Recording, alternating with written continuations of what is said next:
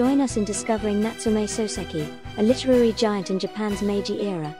Born in 1867, Soseki crafted novels that delve deep into the human psyche, capturing the essence of Japan's transition from tradition to modernity.